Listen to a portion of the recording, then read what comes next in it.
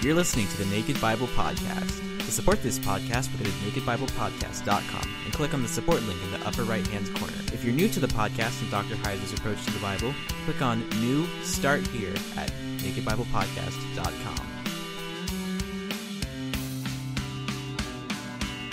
Welcome to the Naked Bible Podcast, episode 207, Revelation 4 and 5, with Dr. Alan Bandy.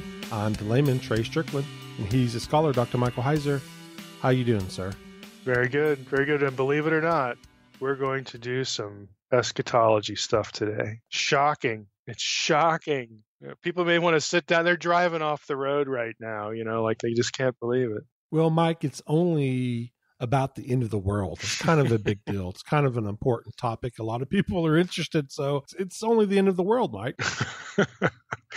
okay. I mean, we, we got to do something here sometime. So why not today? Mike, before we get started with the interview here, I just wanted to point out that Dr. Bandy's internet wasn't the greatest, so his sound quality suffered a little bit. So, what might help our listeners get through the interview is to pretend that he's a robot.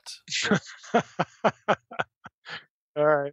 Maybe, maybe that'll help. He, he, he is not a robot, but hey, if it helps, go with it. Well, I'm really excited to have uh, Dr. Alan Bandy with us. Uh, Alan's specialty is the book of Revelation. So I can no longer be accused of avoiding uh, eschatology here on the podcast. Uh, I've, I've, really wanted to have Alan on because uh, it'll become evident as we go through, but just, just to, to tease before I ask him to introduce himself, uh, what he does with Revelation 4 and 5 has a relationship to the divine council, which is, is again sort of the sweet spot um, for you know my own academic interest in a lot of the stuff that we end up talking about here in the podcast. So, without further ado, Alan, could you introduce yourself to our podcast audience, just your background and you know where you went to school, your your degrees, where you're teaching, that sort of thing. Sure. So uh, my name is Alan Bandy, and uh, I was born and raised in the Washington D.C. area in Maryland. Became a believer around the age of 17. Uh, delivered from kind of a I was a punk rocker, had a mohawk and all that. And uh, God kind of delivered me, called me into ministry. I went to a little uh, Baptist Bible college in Kentucky called Clear Creek for my undergrad. And then from there, went to um, another small seminary in Memphis, Tennessee called Mid America. And then uh, from there, I did my PhD uh, in New Testament at uh, Southeastern Baptist Theological Seminary in North Carolina.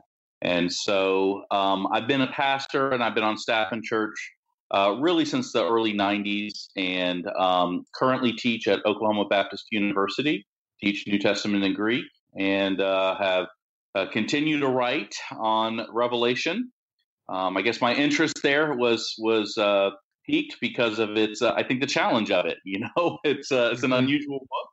Uh, but I think it's it's a beautiful culmination of scripture, and so you know I can spend the rest of my life studying it, and I don't think ever exhaust it or fully master it. So that's kind of where I am, and I have a wife and five kids here in Oklahoma with me, and we just uh, live life and enjoy um, God's grace. Oh, that's great. Well, your dissertation, and you did it under uh, Köstenberger, right? That's that's correct. Yes. Okay. Um, your, your, dissertation was entitled "The Prophetic Lawsuit in the Book of Revelation: colon because mm-hmm. you have to have a subtitle for dissertations."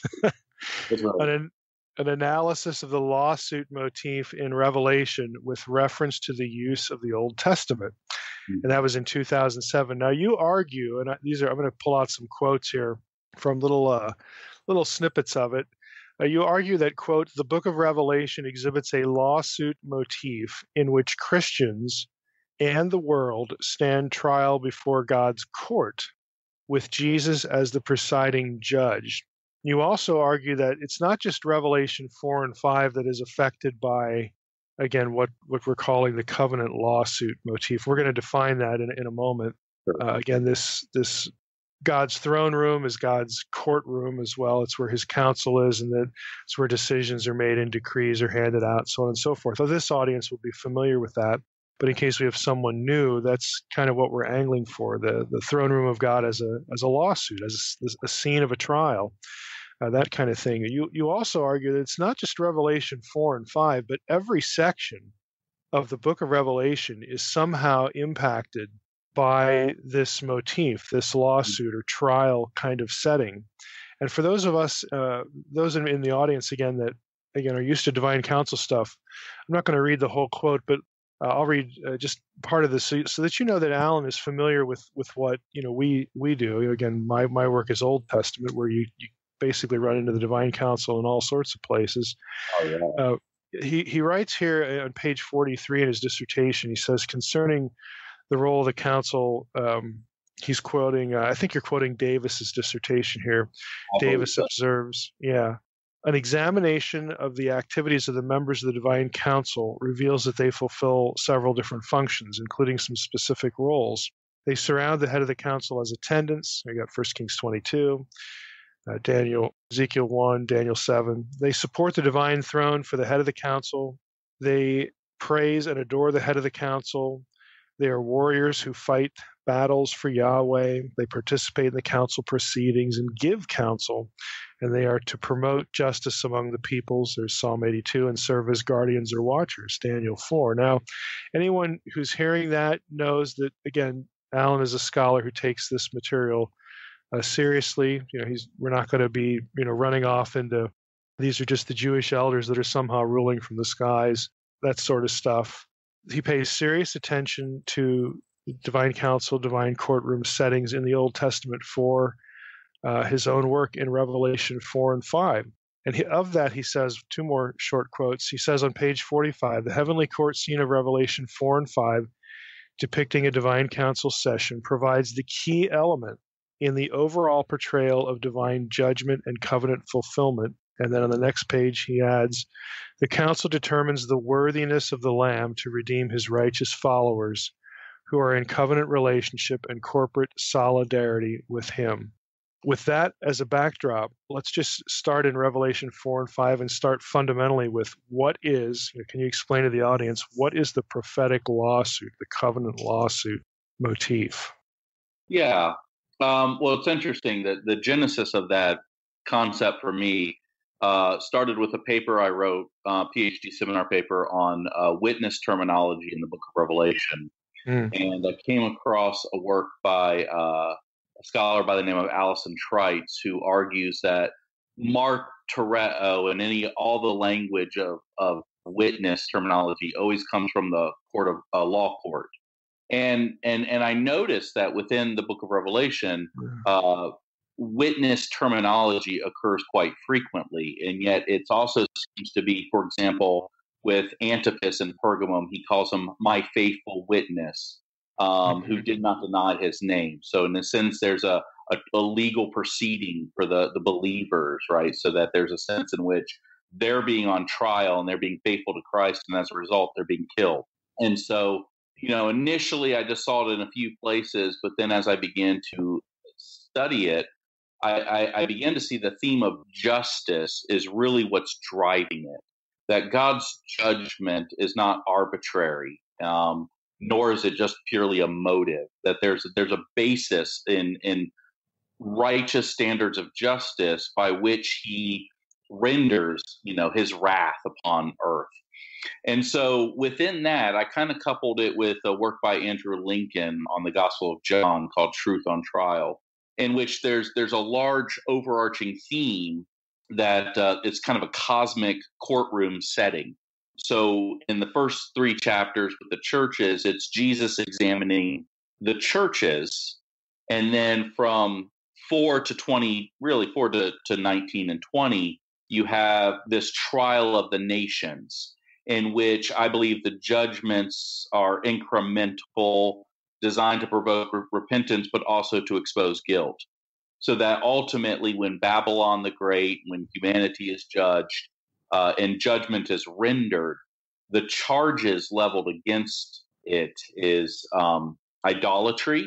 So they've worshipped mm-hmm.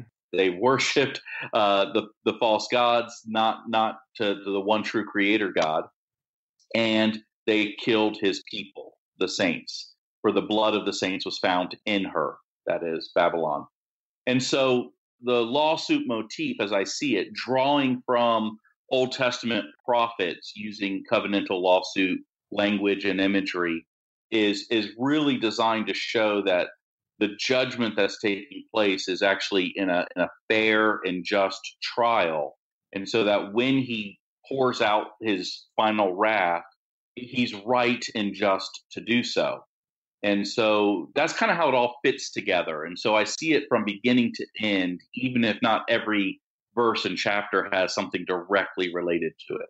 It's really interesting, you know, when you get you know that you have the revelation 2 toward the end revelation 3 toward the end this whole idea of, being, of believers being those who overcome being put over the nations uh, you know i in, in, in my book unseen realm and of course i'm i'm certainly mm-hmm. not alone i'm just drawn on what what other people do the whole notion that believers are the reconstituted council so going by by your framework what you just articulated there you essentially have you know the witnesses being examined who are believer the church you know early on then it, shifts to the nations and when you get to the end you, you have the individual believers who are put over the nations they're the ones who emerge from the trial so to speak vindicated, vindicated. and and and that right. makes real sense with when with paul when paul mm-hmm. talks about you know 1 corinthians 6 3 don't you know that you're going to judge angels yes. you know they they have the right you know the authority to to essentially render judgment negatively you know on the ones they displace, again, the, the, the, the fallen,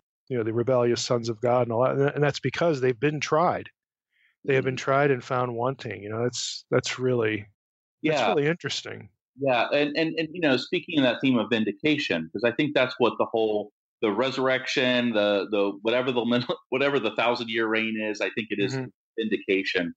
So that um, if backgrounds play into this, I think that it's uh, showing how Christians in the Roman Empire uh, were not guaranteed a fair trial. There's a miscarriage of justice, if you will, in mm-hmm. which judges are sentencing them to death. And so, um, one of the, the passages I gravitate to is kind of central is uh, Revelation uh, 6, 9 through 11, with the, the beheaded souls uh, before the, the altar, and they cry out, How long until you avenge us until you vindicate us, O Lord. Mm-hmm. And so they're told, wait a little bit longer until the rest of your brothers and sisters are brought in. And so that then the the visionary, the two witnesses, um, and and all the other uh, uh, what I call interludes, the 144,000 and, and so forth, are all depicting the church in faithful witness to the nations but what mm-hmm. Revelation has is a kind of a, a reversal theme, right? So those who are judged by earthly judges will become the judges of mm-hmm. those who judge them. You know, kind of having that ultimate reversal of putting everything to rights that was gone wrong in the world. Yeah. So, how, how do you see? I mean, take us through Revelation four and 5 mm-hmm. because this is the passage everybody's going to think of. You've got the twenty-four elders. You know, and again, if this is judicial context reaching back into the Old Testament. You've got the not only the two or three witnesses idea, but the just the elders generally. Mm-hmm. You know that that kind of function. So what what are the points of connection or the or the not points of connection back into the Old Testament? How do you you know how do you take this and walk us through that scene in Revelation four and five? Great, great question. Um, Revelation four and five. I mean, I, I spent just a lot of time there and continue to go back, right? Because I find it so foundational. So people different divide Revelation up differently, but I divide it into four visions marked by the phrase "in the Spirit," which only occurs, occurs four times. Uh, John, like basically chapter one, eight, and nine, when he's on Patmos. Then in chapter four, verses one and two, he's in the spirit, but he's taken to the throne room. And chapter four through six is then all one kind of visionary unit, which goes up to, I mean, not six, but 16. Um, and then in chapter 17, he's in the spirit. One of the elders shows him the, uh, the, the great harlot Babylon. And then in chapter 19, um, one of the elders shows him the New Jerusalem coming down as a bride. Um, so there's there's I, I see four visionary units, and then the longest and most central is four through sixteen. So when I see chapters four and five, I connect them all the way through to the end of chapter sixteen, so that the vantage point of John is all coming from that heavenly throne room scene. So the series of sevens and everything else stemming from that. So what we have then is a courtroom, a kind of a heavenly throne room vision that extends through all of those judgments. So the introduction of the one seated on the throne in chapter 4 followed by the slain yet standing lamb in chapter 5 who's worthy to take the scroll all of those those those scenes are absolutely significant one for establishing the worthiness of God as as judge but more importantly of, of Christ so you have this divine council scene right with the thrones the mm-hmm. big throne and then other thrones reminiscent of Daniel 7 and so I believe all of this is and, and then um what is it? Is First Kings 19, uh, 22 or 22, 19? 22, 19, yeah. 22 with uh, Micaiah the prophet who uh, sees the, the throne and the other thrones and God saying basically, how am I going to cause this to happen? And, and one says, I'll do this and another says, I'll do that. I think that, that what you find in the prophets, both written prophets as well as verbal prophets or, or non-writing prophets, this common theme of evoking that when God's going to render judgment, he gathers his council together. And that council then serves not so much as uh, an advisory board, but but those who are, are participants as as representatives, as as heavenly beings of, of sorts who uh, partake in the kind of the, the playing out of whatever whatever follows. Yeah, and that and that's typically the way I I talk about it too. You know, I you know God doesn't need a council. It's not, it's not like he needs help, but he he likes to have his intelligent uh, imagers participate with him and you know both carrying out decrees and also letting them participate in you know in making some you know some decisions that are in concert with that. There, I mean, nobody's autonomous. It's not like you have a like in Daniel four you know, where the watcher says to, to Nebuchadnezzar, This is by decree of the watchers. Well, that's followed a few verses later by saying, This is by decree of the Most High. You know, it, it, nobody's going rogue here and deciding, well, you know, we'll tell God later and then he'll, you know, he'll rubber stamp it for us. Exactly. you, know, you don't have any sense of that. It's just, I like participation. That, that just seems and, to be a good word. Verbs, you know, when, when God does something, it's, it's in the passive. It was given to them to do this. It was given and, mm-hmm. and you almost see not so much a removal of God, but it's like God decrees, and then these beings or these other angels or these other messengers then carry out what he yeah. decreed. Now go get it done. Yeah, exactly. Yeah. Um, and so, like, you know, of particular interest are the 24 thrones. So you find, say, in the Old Testament passages, Daniel, Kings, and, and um, you know, those are the two primary ones uh, I would go to, but there's thrones. So there's the throne of God, and then there's other thrones. But in Revelation is the only place where you find a specified number, you know, mm-hmm. 24. And then when when compared with other apocalypses, uh, Jewish apocalypses in particular, you don't, you know, that the 24 elders is unique to the book of Revelation. It's not found anywhere else. So there's been a lot of like ink spilled on who are these 24 elders? What are they? Because they're the only beings allowed to be seated on thrones in the presence of God, you know, and they're usually on their face. Um, so they're not even seated half the time, but the way they're dressed, they're wearing white. Um, they have crowns on their heads. So this speaks of something that's exalted. Yet mm-hmm. at the same time, Revelation's not shy about using angels when it's denoting an angel. Um, so you know, there's questions of whether or not you know different scholars will will argue that they're angelic, uh, they're angels or they're saints, uh, the twelve patriarchs and the twelve apostles, or they're um, astral zodiac star gods. Uh, mm-hmm. Uh, there's there's a number of theories out there, but I tend to lean toward a view that doesn't necessarily try to put a name on them. So, in other words, um, I think they're angelic heavenly beings of some sort. Um, but the term elder connects it then to those who are leaders in Israel.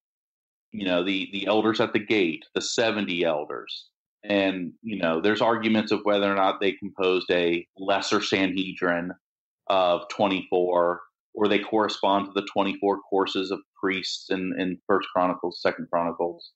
Did you uh, did you come across any any um, how do I want to put this? Was there any helpful trajectory extending from Isaiah 24? Uh, you know, specifically in verse 23, when you have you know Yahweh you know, the Lord of hosts reigns on Mount Zion in Jerusalem. His glory will be, quote, before his elders. And you've got sun and moon terminology there. You know, it's it's not the same thing that you get in Psalm 89. You know, Ramullen would would argue that we've got a the, the witness in the clouds there is is a, a, member of the council and so on and so forth. But I'm just wondering, did you find any kind of helpful use yeah, of that maybe in, in Second yeah, Temple stuff? You know, that's something I'm going to have to go back and revisit because I don't recall, you know, immediately whether or not, you know, I made that connection with Isaiah. That would be incredibly helpful, especially with the sun and the moon imagery um, that's brought in. Yeah, because um, you don't. It's it doesn't sound like any kind of quotation or or and, and I mm-hmm. don't even know if it's an allusion. Yeah, um, yeah, that's exactly right most of the scholarship will focus on things that they can determine as a clear allusion or some sort of possible allusion based on like linguistic similarities. You know, what, but what's interesting about that is the within apocalyptic writings, and so I kind of took the track from Dead Sea Scrolls and others that saw them as some sort of kind of Sanhedrin, uh, which was really kind of the modern equivalent of the uh, the elders of Israel the 70. So you had your mm-hmm. and lesser Sanhedrin, which is kind of like a legal body. But within the Jewish apocalyptic literature, um, and even within rabbinic writings, there's this dualism. So one, I think it's in um, in the Talmud. It said that nobody serves on the Sanhedrin below unless he serves on the Sanhedrin above. And so the language of below and above is used a lot so that what is happening, say, in the temple and, and the priesthood and leadership is then mirrored and it, it's a, a, mirror of what's happening in heaven. That mm-hmm. there's kind of this this parallel there. So that as it is below is so it is above. So that, that what you have with these 24 elders, whatever they are, I believe that they represent the saints. They're kind of like a representative body, like a Sanhedrin with legal connotations. Mm-hmm. Um, yeah, it's it's really. I mean, you you mentioned the the as in heaven, so below. I mean, obviously in Revelation four, you've got again, you've you've you've got the the constellation imagery drawn from Ezekiel one, which takes you into the Merkava, you know, mm-hmm. arena which which can get real crazy pretty quickly. and and then you but but that that's that's significant because at Qumran, you know, they you, the whole priesthood separates, you know, from the Jerusalem priesthood because well, you know, we want to use the mathematical calendar, not that crazy calendar you have to adjust every now and then and and then they're off, you know, doing their thing in the wilderness, you know, to they're they're priests without a temple, but they're going through all the motions but that those are priests. And my, my point is that all of that mimicking tends to get tied to priest language as mm-hmm. opposed to elder language. And so you, you have to wonder is is Revelation merging that? Because you know, Revelation merges a lot of stuff. It is, you know, yeah. Is is this a merger, or or should we should we not assume it's merging? Should we make you know should we like just talk about elders and not talk about the priestly stuff? It you know it's that's yeah. that's difficult. Well, you definitely get that merging, mixing, slicing and dicing and reconstructing uh, in Revelation, where, I mean, there's never really an exact parallel. I mean, even the visions from Zechariah of the olive tree and the lampstand is changed. Um, mm-hmm. So it's not exactly one to one correspondence. So it is possible because you do have priestly imagery ascribed to the elders in Revelation because they're functioning in a mediator, a, a mediatory fashion. Um, mm-hmm. They're also guiding John through the vision. They're interceding. Um, so there's a lot of interesting things. They're leading in the worship in heaven. They wear the white garments. Yeah, they wear the white garments. Um, they're also connected with the saints, though. So, for example, in Revelation 17 or, the, or 18, when the no 17, when the I'm sorry, 19, when the saints are given white garments, you know, which is their righteous deed, um, and, and believers are pictured wearing white and having crowns. And so the language of the elders seems to also reflect the language of God's people into their redeemed, glorified state, which would suggest that, and this is why I call them representatives. So then the four living creatures, who I think are also council representatives, I think they represent the created order. So you have four, which is often mm-hmm. used for the earth, um, mm-hmm. north, south, east, and west. But then you have, you know, the ox and the eagle and the man and the lion, which really kind of represent classes of created animals, right? Uh, flying animals like the eagles, domesticated animals like the ox, wild animals like the lion, and then um, obviously humans as the you know kind of crowning achievement of, of the God. So what I would argue is that the four living creatures, whatever they are, are representatives of the created order.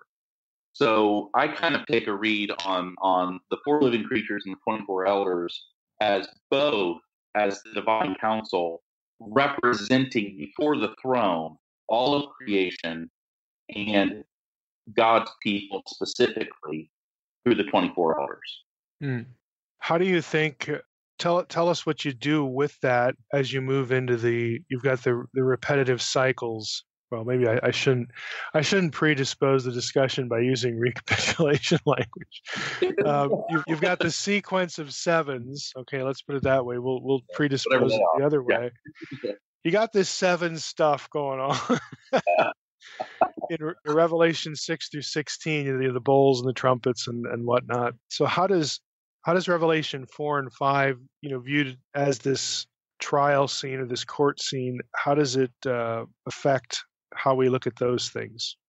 Right. So, I mean, I think I think chapter five becomes significant because whatever that seven seal scroll is, and it's interesting, um, based uh, out of a, of a cache of scrolls found in a trash pile in Egypt.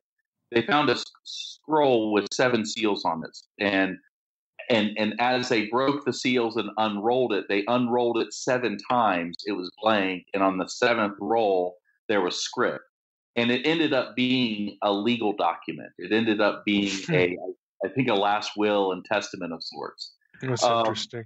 It is interesting. Um, so there's a lot of speculation. What is this seven seal scroll? Well, you know, I mean, sh- my short answer is it's the scroll of God's judgment.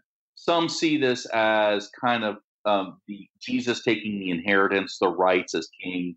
Uh, it's an enthronement scene, whatever it is. It's an enthronement scene in which the Lamb is stepping forth and then given the right, and I think it does parallel uh, Daniel's vision at night, uh, where the the Son of Man approaches the Ancient of Days and is given dominion over the nations. Um, so I think he's stepping up as judge, and then with the the seals, you know, you have the seals being broken in kind of a consecutive manner, but it's broken down into a pattern, four and three. So there's the four horsemen, and then there's three additional seals. Uh, and the last one culminates with these shakings of heavens, these signs and wonders, if you will, uh, of mm-hmm. rocks, and you know, please fall on us. The wrath of the Lamb has come. It's kind of a proleptic of the final judgment. But you would expect that with the breaking of the seals of the scroll, you would expect the contents of the scroll to be revealed. But instead of the contents of the scroll being revealed, you have seven angels with seven trumpets making announcements, right? Sounding forth mm-hmm. their trumpets. Um, so that I think that the trumpets kind of recapitulate because you're dealing with the, the same breakdown of four and three, four things affecting creation. So the four horsemen kind of ravaging the earth, and then um, in in in the trumpets you have um, the wildlife. I mean, the plants and the seas being damaged, um, but to a greater extent. And then the seventh trumpet sounds, and once again, you would expect something. There's a culmination. There's celebration. There's worship in heaven. The, the, the, the, nations of this world have become the nations of our Lord, and he will reign forever and ever. Um, so this kind of expectation of the final judgment being realized. Mm-hmm. But then you get the bowls. Right? so what you get in between the bowls of chapter 16 that are filled with the wine of God's wrath, which is the actual judgment being poured out, you have this interlude of 10 and 11 of the angel, this giant angel that has the same kind of description as Christ, but yet distinct from Christ. And in his hand is a little tiny scroll. And uh, it's tiny because his hand is so big, right? He's, he's straddling earth and sea. Um, and John eats the scroll and he's told, You must prophesy again against many nations and kings and peoples and so forth. And so then argue then that that scroll that John eats is the same scroll that the Lamb had broken the seals on. So do you? I mean, some of those things really sound.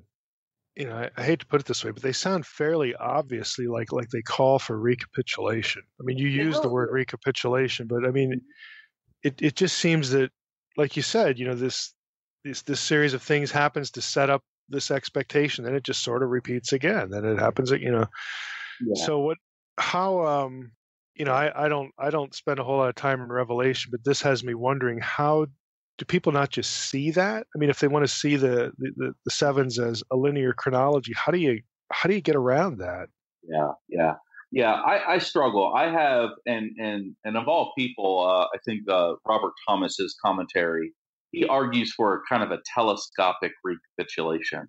And I think that that's probably closest to the way I see it unfolding.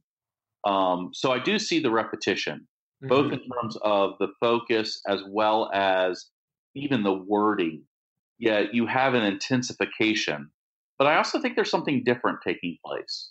So I argue that they're not so much a straight, like, you know, just the same thing, different perspective. Mm-hmm. I think there's a little bit of a progression there. So it's more like instead of just circling overhead, it's kind of moving a little bit forward. And so uh, I would I would argue that each of the last elements contains the final. So for example, the seventh seal introduces the seven trumpets. The seventh trumpet introduces the seven bowls and that with the seven bowls, the wrath of God is complete. So I don't see it in a in a straight kind of a linear chronological reading. I do see recapitulation, but I see progression in that as well. Mm-hmm. So it seems to be moving forward, but yet the final element, the the blowing of the trumpet, kind of launches the wrath of God being realized. So, you know, people try to put this on a timeline, right? They try right. to three and a half years. It's like this you know, I don't, I don't, I don't try to see it in a timeline. I don't think that the the uh, amount of years is is even a focus. Um, I, I, I noticed in your dissertation you didn't have Clarence Larkin esque words in there. no, I, you say maybe, maybe you took those out when they bounded, or yeah, yeah. I have um, I have presented a lot of papers at different academic conferences where I kind of take much more of kind of a, a strong critique of those readings because I don't see Revelation from beginning to end, even in a straight kind of chronological fashion. I see it more like a tapestry. Mm-hmm. and you see the big picture, but then all the parts are interrelated, and you know, yeah, you, you could be looking at one thing and and you're and the linear approach makes sense there and then you look at something else and oh i can see repetition here you know i don't know why it has to be one or the other well part of it is they're trying to you know people try to want to fit it into a nice scheme where they can have it all mapped out and figure out exactly what's going to happen at what point and i don't think revelation really allows for that. I, I even think the enumeration of the sevens is seven kind of corresponding to the seven days of creation and perfection are also you know designed um, to kind of show that there's there's a process that's taking place. And i argue that they're investigative judgments because they all culminate in chapter six with the breaking of the seventh seal there's no repentance there's the wrath of the who sits on the throne and the Lamb has come. Who can who can stand? And they're hiding and calling for the rocks to crush them, rather than turning to them. Right? They're they're trying to escape it. Then with the with the seventh trumpet, you find a similar thing.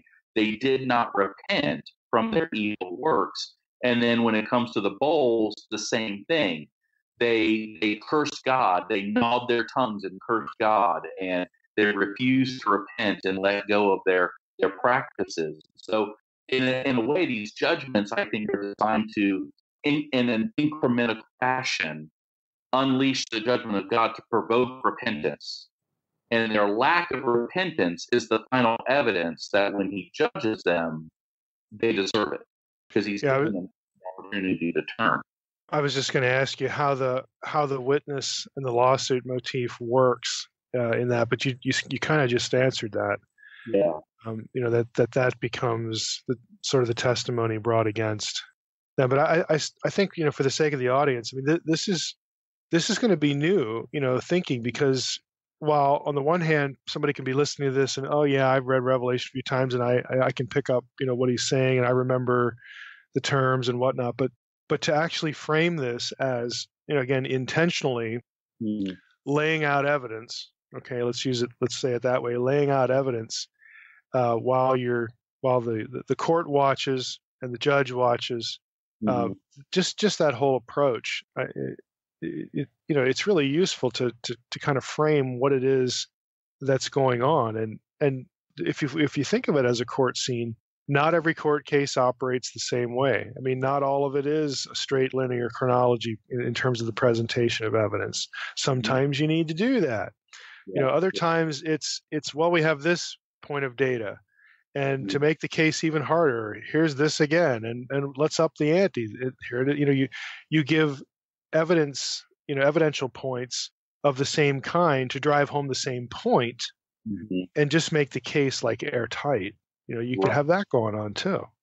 And you see this even in the Old Testament when God's bringing judgments against, and, and you also see the same pattern. Um, if you read like Isaiah, this really struck me when I was working through it, in Jeremiah even, you have oracles against Israel or Judah for their mm-hmm. sin. They turned after other gods. They they've done wicked. Um, and God's like, repent. Otherwise, I'm going to judge you. And those are often framed within a law court setting, kind of the, the covenant lawsuit. But then, after you find these these passages where he's like speaking against his people, he then turns and says, "Now Babylon, I'm going to judge because of what they've done to you." In Egypt, I'm going to do this to them, and and he kind of goes in a catalog of the mm-hmm. nations mm-hmm. of Israel, and and basically saying because they hurt my people, and their idols, and they worship their idols, I'm going to judge them. And then in Isaiah in particular, you have the oracles against Israel and Judah, the oracles against um, the nations. And then you have that last section of like Isaiah 55 through 66 of here's the new heavens and the new earth. So I argue that there's a pattern. Um, oracles against God's people, covenant lawsuit, oracles against the nations, which are also framed in kind of legal justice language, and then oracles of salvation, depicting what God's deliverance and vindication will look like for his faithful people. Well, I'm glad you mentioned that because I was going to pull out the word covenant from covenant lawsuit and ask you, well, what what covenant are we talking about here? Because you've yeah. you've got Christians, you've got the nations, mm-hmm. um, you know, so I'm I'm glad you just you know went through that you know quickly because there is there is a bit of a differentiation here yeah. um, when when it comes to the to the to the God's people element. Let's just put it that mm-hmm. way. H- how can you c- can you give us a quick way to think about the covenantal aspect there? In, in other words, you know, you have the New Testament, you've got the the new covenant, you know, in Jesus' blood, uh, which you know if you go back to Jeremiah 31, you know you, you get the covenant language. Is is that what we're talking about? Is this loyalty to Jesus? Uh, that, that's what that's what what I'm hearing makes me think. Yeah. But is it something else? Yeah, I've I've really I've really struggled with this, and I've I've, I've had other friends and scholars working on this as well, and we we've discussed it. and there's not universal agreement. I mean, there there are some people see this in reference to Israel, and Israel exclusively as God's covenant people, kind of the Sinaitic covenant, um, and even even the plagues. Greg Beale does a good job with this in his commentary, where he talks about like with the seals and the things that are happening, invasion of the land and plague and things uh, going to the covenant curses of Leviticus, I believe it's Leviticus 26, mm-hmm. where God's like, okay, if if if you don't repent, I'm going to send wild beasts to attack you and the sword to come and get you, and your women are not going to bear children and all these other things. You see the same type of language of covenant kind of consequences for being unfaithful. But I would argue that because he's clearly writing those who are believers in Jesus, the churches, I, I kind of, it's a little bit novel. It hasn't picked up, so I don't know if I'm just being idiosyncratic here, but I call them new covenant communities. In other words, that in Christ, the new covenant, they are now the people who belong to Jesus, marked out by the Spirit faith in Christ from his death and resurrection. So it's a different focus. Um, it's not dealing with so much straight up things dealing with, with Israel's covenant, but what it means to be the people of God in a pagan mm-hmm. society. You might get actually some help there by by the six six six because that's quote you know bearing the name you know they exactly. you know, they they bear the mark and you know you you take that language and that that goes right back into you know the the Ten Commandments. You know, taking mm-hmm. you know it's Nasa, bearing the name of the Lord in vain. You have the people of God there, but then you have the same. You Paul make the comment about those who name the name of Christ apart from iniquity. It's it's representation, it's imagery. So you know we we as believers are supposed to bear the name yes uh, of Christ, which means we're supposed to image you know Christ, and Christ was the perfect imager of God. So it, it takes you right back to the covenant God anyway, you know, the God of the Old Testament. So you know there, there's no need to split that hair. You know, oh, is it is it Israel or is it Christ? No, it's it's the, the people who have chosen to align themselves with the true God who is incarnate in Christ. You know what? What's the six one half dozen of another? And in fact, you have two groups of marked people. Um, so you have those that take the mark of the beast, and they're clearly the objects of wrath. They're clearly the ones that are like opposed to to they're unfaithful and opposed to God. Um, but then you also have like Jesus promises to the church um, at Philadelphia, the ones who are, over, who are faithful, the overcomers. Um, he will make them pillars in the New Jerusalem with the name of God written on their forehead. Mm-hmm. Um, there you go. Yep. And then you also have uh, the 144,000, however mm-hmm. one wants to interpret that, but it says the seal of God is on their forehead. Mm-hmm. Um, so you seem to have these two groups of like kind of tattooed people, if you will. Those who belong to Yahweh or Christ, and those who belong to the beast. You know, those who belong to the lamb and those who belong to the beast. And the beast is really just a grotesque parody of the lamb. So um, yeah, I think that's that's that's intentional, right? To show that. So I think the the messages to the seven churches then are essentially lawsuit oracles against God's people. Hey, I, you're doing this great. Keep it up. You know, be faithful, overcome, and here's your reward. But he also finds problems. Hey, you, you tolerate these people. You do this. You you left your first love repent. Otherwise, I'm going to come and deal with you, right? I'm going to remove your lampstand. I'm going to strike that prophetess dead. I'm going to do this. I'm going to, you're going to be found wanting when I show up. Mm-hmm. Uh, I'm standing outside the door knocking, and you're not letting me into your fellowship. So you have all kinds of. Uh, I think that's that's kind of the, the covenant lawsuit that you find in in Hosea and Micah and other places in the Old Testament where God's bringing charges against his people. It's just balanced positive and negative there. Mm-hmm. Tell us a little bit about the trial, the sentencing, and the judgment of Babylon. You got mm-hmm. Revelation 17 on into chapter 21. How does this work uh, with Babylon? Right. So Babylon's an interesting image, right? So, kind of pulling out the narrative of Israel's history, Babylon being that empire that uh, held God's people in exile. You know, they were removed from their temple, they were oppressed, uh, they were in exile. And you see the same imagery. Uh, John's in exile, writing to his belief, his, his his brothers and sisters in Christ, who are living under the oppression of the Roman Empire. And in very real ways, they're living as strangers and aliens in their hometowns, as if they're in exile. But Babylon is personified as a prostitute who leads the entire nations and all the kings of the earth astray with her fornications. And and the only weapon that's listed, well, it tells us, I think it's in chapter 18, that her cup is the blood of the saints, with which she has made the nations drunk. And so it's a parody. It's it's a way of saying this is, I would argue, Roman Empire, but more broadly, all of human civilization opposed to God.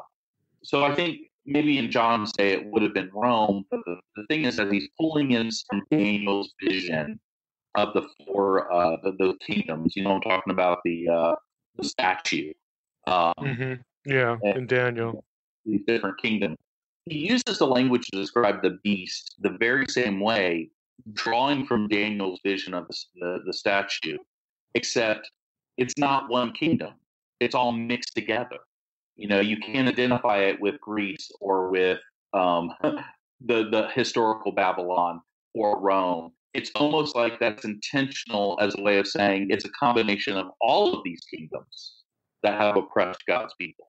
So I believe she represents the power of the, the, the kingdoms of this world in opposition, in league with the beast and the dragon she sits atop the beast. She's riding it. And and and so she's leading the nations astray, seducing them with wealth and riches and intoxicating them with her ways, which ultimately results in the slaughter of God's people. And if you go back to chapter 9, you have these souls that have been beheaded because they were faithful to the Lamb. And they cry out, how long, O Lord, holy and true, and could you avenge our blood?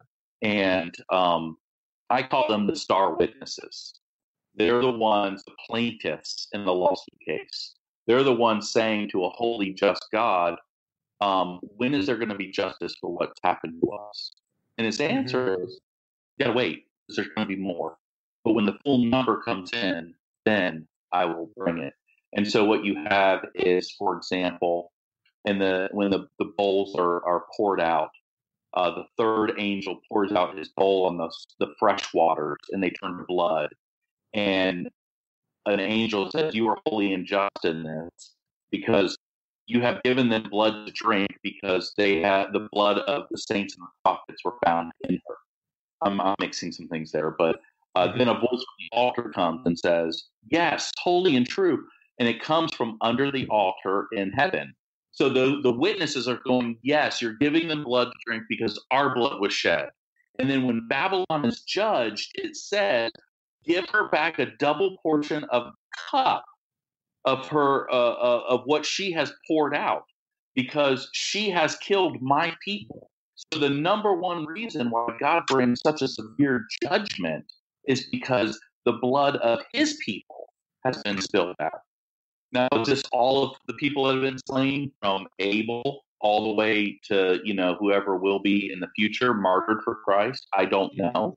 Mm-hmm. But I think that God deals with the blood of his people and his image bearers with seriousness. And because they've shed the, that blood, he brings his judgment. And so the, the judgment of Babylon is seen, I think, as a expanded commentary on the wrath of God poured out in the bowl judgments. Yeah, it wouldn't make it wouldn't make a whole lot of sense, you know, going back to some earlier points about okay, we're we're dealing here with the people of God, uh, you know, as broadly speaking, you know, mm-hmm. not just you know Old Testament Israel, not just Gentile, you know, we're it's the people of God.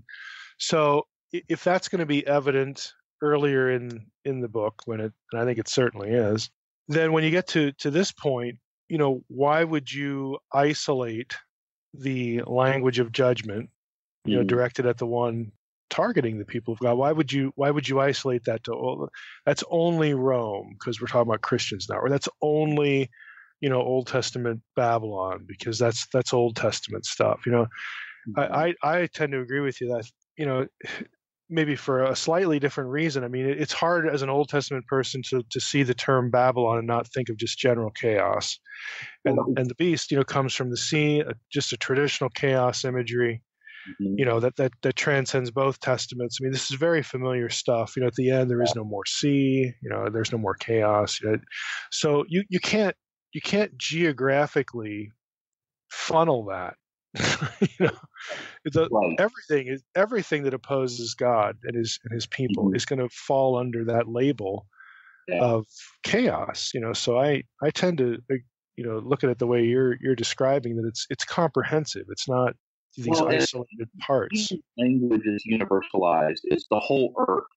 All mm-hmm. of this is happening not in one geographic location. It's not just one city um, that these things happen or one like Israel or Egypt.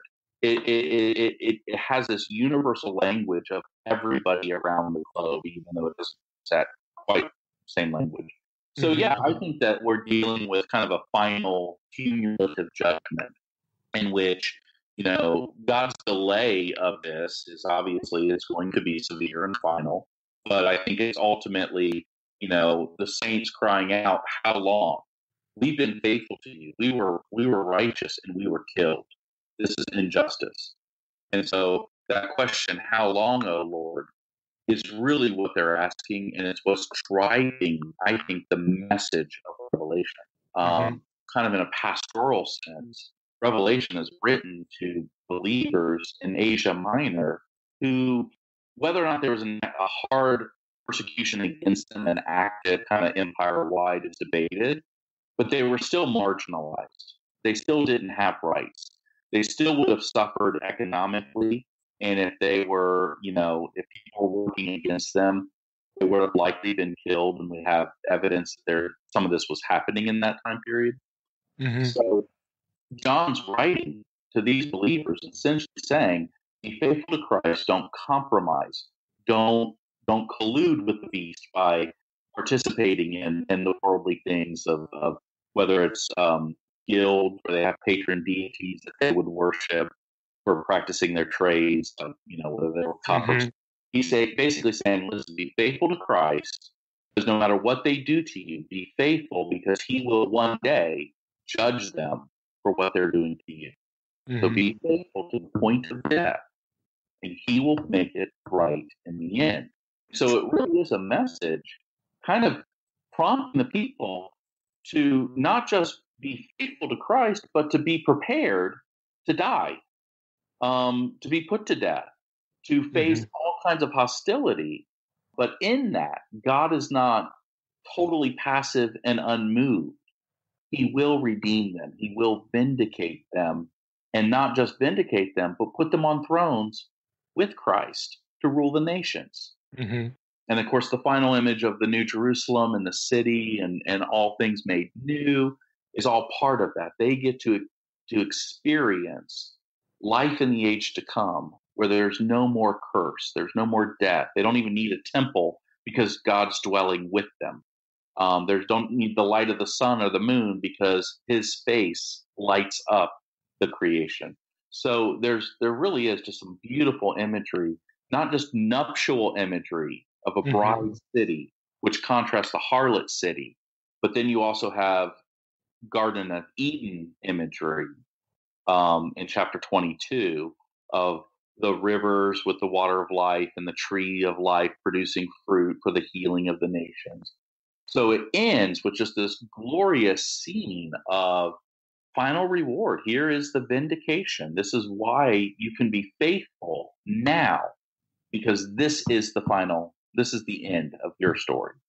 How I want to, uh, yeah, it is. I I want to hit. Uh, I mean, you know, for for again for this audience, we have you know, I, I, made the joke about not spending a whole lot of time in the in Revelation, but you know, the, la- the last couple chapters, I mean, it's you know, from an Old Testament Semitic's perspective, it's it's the cosmic garden, it's the cosmic mountain, it's it's what Eden should have been. You know, it, it's you know, there's a reason everything comes full circle. You know, that's God. God gets what He wants in the end. Yes. And, and those who endure are the benefactors. You know, they are they are participating benefactors. Um, you know, and, and again, brought into the family. You know, as Eden, you know, was the, the picture of the blended family, the divine and human family, humans made fit to occupy sacred space, all that stuff. It just mm. it just converges, you know, and at the end there. I, I have one one more question for you though. How has all the time you've spent doing this, in other words, and, and for those again who are listening, that what understand, you know, how I'm framing this question, but when you spend a lot of time in the book of Revelation, not just looking at the trees and, and not noticing the forest. I mean, what, what Alan is doing here is thinking about the forest. He's thinking about how, how the whole book is framed and how the how the content is framed. In this case, by you know the the the lawsuit motif, the trial motif, you know whatever label you want to stick on it. So how has thinking about the framework and then how the framework affects you know the content when you drill down and start looking at the trees in the forest how has that influenced uh, your eschatology you know just your perspective has it has it led you to adopt one view or reject another or or are you just I mean, I I view myself as sort of eschatological system agnostic. You know, it, it I don't really like systems. Yeah. I I I think the, the systems all look beautiful until you look at where they're not beautiful. you know when you when you start noticing the problems um, but you know how how has it how has it uh, you know influenced the way you think just theologically eschatologically well it has i mean had a tremendous impact on me and i think i've run the gamut of just about every view one could have um, i had the larkin charts um, and Sweet. i had you know all of those things and um, but you've you've missed your opportunity now. You just think about this title. You know, the, the greatest book on dispensational truth. You know, like version two or updated. You know, yeah, yeah. You know, it's and it's lots you could do with that. there is, there is. Um, you know, I think there's there's a couple of ways it's it impacted me. I mean, G.B. Caird, his little commentary in Revelation, he uses the the phrase when it comes to looking at the Old Testament in certain passages, he says, "Be careful not to unweave the rainbow." Um, it, it's put together the way it is because it's it's it's intended to communicate as a whole. So I kind of, uh, I mean, if anything, I've become less certain of, of, of interpretations, where I try to find the finer details of like how all these things are going to play out. So I have a couple things that that I often say. One, you know, when it comes to the prophecies of Jesus coming the first time, you know, his birth in Bethlehem and his life and death and resurrection, the Old Testament clearly pointed to all of that, as Jesus himself would indicate. Um, but they missed it. And it's not until after he comes and dies and rises again that they look back and go, oh, look, it's clear as day. That's exactly how it was supposed to happen. Mm-hmm. And I kind of argue the same thing. We see bits and pieces of the way it's going to unfold, but we don't have a clear picture. And some people think they do. Yeah, when, I, I, would say it's intentionally fragmented. I think it is know, for, for different reasons, you know, for a variety of reasons. But yeah, I would, I would that's my answer. It's going to work the same the second time around. I don't know what to call that. But. When he comes back, we're all going to go, oh, yeah, that makes perfect sense. That's the way it was going to, you know, it's hindsight, you know, it's 50, 50 uh, 2020 is, is, is kind of the way I view it.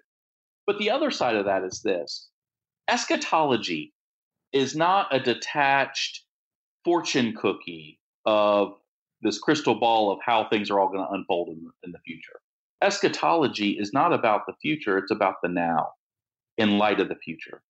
And with the prophets, the prophets gave messages of even future hope and judgment as a means to prompt action in the present.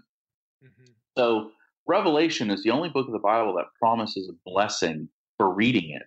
But it says repeatedly, especially in the beginning chapter, first chapter, and, and last chapter, Blessed is the one who obeys the words of this prophecy. So I was once speaking to a group of pastors, and I said, if Revelation is nothing but a blueprint of the future events, like you know, kind of CNN for the future, I said, if if if that's all it is, how do you obey that? yeah. And they were kind of stumped. You know, what do you mean? Well, you obey it by witnessing for Jesus, but that's not what it's saying. There's messages of repent, of be faithful, of yield up your life, of you know, a number of things it's telling them to do. Repent of sin and let go of these things and avoid idolatry. And so I, I think that when I read Revelation, I used to see it as what's going to happen in the future. Now I see it as how do I need to live now? How do I need to hear this message for my life now? So, yes, there's a future expectation, there's a future hope. He will come back, literally and physically, I believe. And he will establish a new heaven and a new earth and make it all right. But the focus is not on the details of timelines. The focus is on, because of that, this is how you then should act. This is how you live so that that you can be a participant in the final vindication. So for me, I see much more, and also the emphasis on worship. There are seven distinct scenes of worship. Chapters four and five are the first. And so you have these scenes of worship.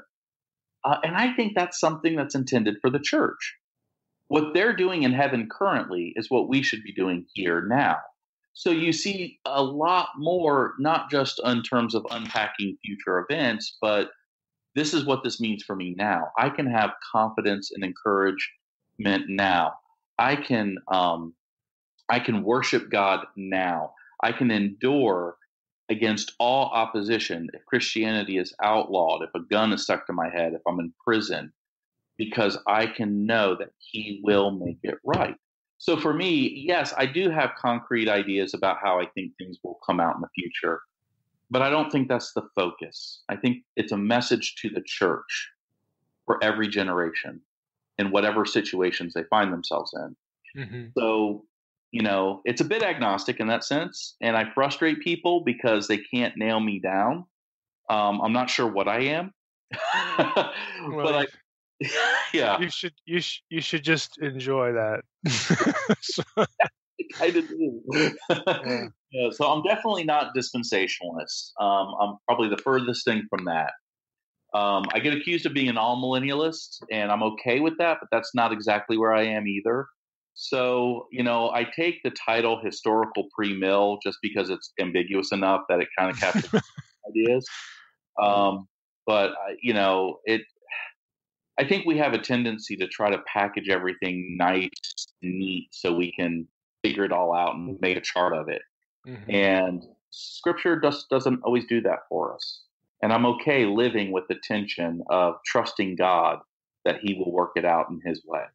I, I think that's a good way to end, you know, because like you said, you know, at the end of the day, if, if you have this, you know, blessed is the one who obeys, you know, the, the words of this book, I mean, that, that should tell you that the purpose of the book is not so that you can divine everything. Right. You know, in the book, this the, the purpose of this is not so that you uh, you solve a puzzle. It's not about solving the puzzle. Mm-hmm. It's about you know, like you said, the you know the here and now. So I, that that's a good place to end because I, I think that's a really good thought that is text driven. You know, mm. from mm-hmm. from the book itself, and I, I'm hoping you know for listeners that can really orient them when they think about this before. So when you approach the book, don't look at it as uh, you know the, the goal here is to solve a puzzle. You know the goal here is to live a certain way, and in light of the, the circumstances that I think it's fair to say. I mean, we we don't have it as bad, but that doesn't mean we we may not. You know, whatever the circumstances are, you know, put yourself right in there.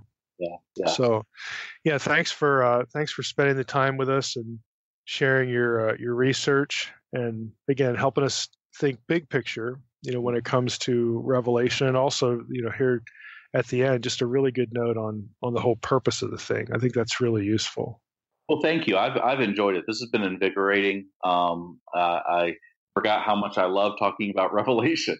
And, uh, and um, but yeah it's been a, it's been a blessing. You know i find this book people are scared they're either scared of it or they're overconfident about it.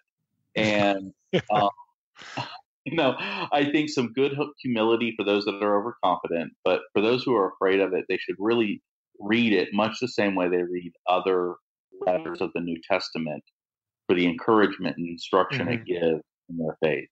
And um, yeah, it's been a joy. I appreciate the opportunity to talk about these things and your interest uh, in the divine council. And it's always nice to know that there's other people that that right. see things and see them. Yeah, we're we're out here lurking, you know. yeah. Yeah, I, I shouldn't I shouldn't put it too much that way because you know we've people want content and and fortunately you know unseen realm has people are finding it as a uh, you know as a good and this is how i put it in the intro i mean this if you read the book and you really grasp the content this isn't like the the end point this is the beginning point because the goal is to sort of give you the lay of the land yeah. where I, I, want you to be you know, then go back and read scripture and, and not be able to unsee things you know just sort of it's a it's an orienting thing yeah. um, and and that that's the thing that our this audience really gravitates toward it you know learning things that will orient them when they uh, drop in, you know, at any any given book and they start, uh, you know, reading or studying, that there will be they'll be able to see the threads. You know, I've seen that thread before. Yeah, let, us you know let, let's go chase that down and, and then tie it up somewhere and, and that sort of thing. So to try to try to just think on those terms. So I really like uh, big picture kind of thinking, and anything that tethers the testaments together to me is is uh, you know worth worth spending time on. Yeah, absolutely. Well, thanks again. Well, my you pleasure. Have, uh, please, you know, c- consider your. You have my permission to continue to frustrate people. Um, well, I'm glad know that. a badge of honor here. yeah, I do. I do enjoy. I do enjoy kind of frustrating people that way, and and they're constantly trying to figure out what it is that I believe, and and I mean, I'm I'm clear with what I believe, but they can't label it, and right but I enjoy that. It's kind of it's good. It's, it's good for them. It really yeah, is. It's, it's good, good, for them. them. That's right. Well, thank you, my friend. I really do appreciate it. It's been a it's been a joy and an honor to be a part of this conversation. All right. Thanks a lot. All right. Thank you. Well, Mike, we made it. We survived. I did. I did. We we we live again to put it off another year. Well, hopefully, I can get you to talk about it a, a little bit more than once a year. but what was what was Dr. Bandy's book or thesis again? The thesis title was The Prophetic Lawsuit in the Book of Revelation, colon, an analysis of the lawsuit motif in Revelation with reference to the use of the Old Testament. Now, that has been published. Um, I, I, don't think the, the dissertation itself is freely available online, but you know you could always you know try it. Some are, you know, occasionally you'll find one. You, it was published basically under the same title on Amazon, but it's it's an academic publisher, so it's pricey unless you can find a used copy. You can find a used copy for about 50% off. Okay, Mike. Well, that wraps it up for this episode. I thoroughly enjoyed the book of Revelation. I know a lot of our listeners do too. So we appreciate uh, you and Dr. Alan Bandy for coming on the show and talking about Revelation 4 and 5. And with that, I just want to thank everybody else for listening to the Naked Bible Podcast. God bless.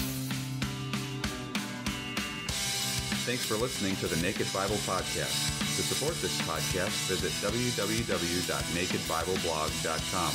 To learn more about Dr. Heiser's other websites and blogs, go to www.drmsh.com.